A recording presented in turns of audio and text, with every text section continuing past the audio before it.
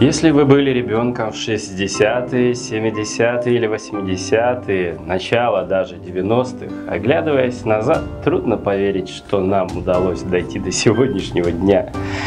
В детстве мы ездили на машинах без ремней, без подушек безопасности. Мы пили воду из колонки на углу, а не из пластиковых бутылок. Никому не могло прийти в голову кататься на велике в шлеме Часами мы мастерили тележки и самокаты из досок и подшипников со свалки. А когда впервые неслись с горы, вспоминали, что забыли приделать тормоза. Наши поступки были нашими собственными. Мы были готовы к последствиям. Прятаться было не за кого. Понятие о том, что можно откупиться от ментов или откосить от армии, практически не существовало. Родители тех лет обычно принимали сторону закона. Можете себе представить? Наши кроватки были раскрашены яркими красками с высоким содержанием свинца. Не было секретных крышек на пузырьках с лекарствами. Двери часто не запирались, а шкафы не запирались никогда. После того, как мы въезжали в колючие кусты несколько раз, мы разбирались с этой проблемой мы уходили из дома утром и играли весь день, возвращаясь тогда, когда зажигались уличные фонари, там, где они были. Целый день никто не мог узнать, где мы. Мобильных телефонов не было. Трудно представить, да? Мы резали руки и ноги, ломали кости и выбивали зубы. И никто ни на кого не подавал в суд. Бывало всякое.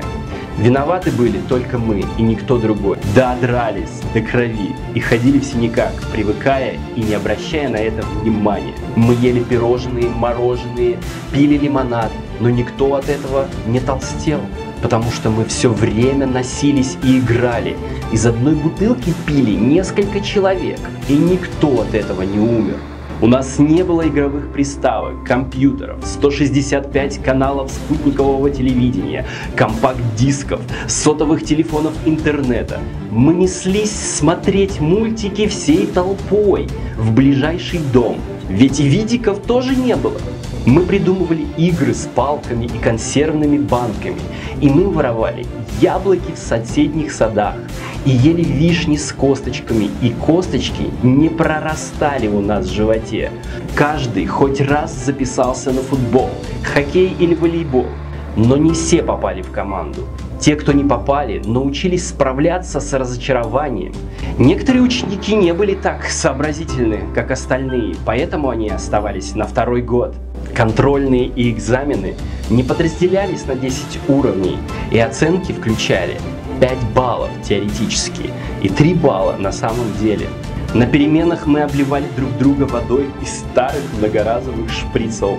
Это поколение породило огромное количество людей, которые могут рисковать, решать проблемы и создавать нечто, чего до этого не было, просто не существовало.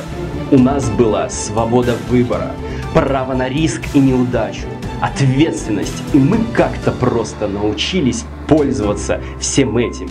Если вы один из этого поколения, я вас поздравляю. Нам повезло, что наше детство и юность закончились до того, как политики купили у молодежи свободу взамен за ролики, мобилы, фабрику звезд и классные сухарики.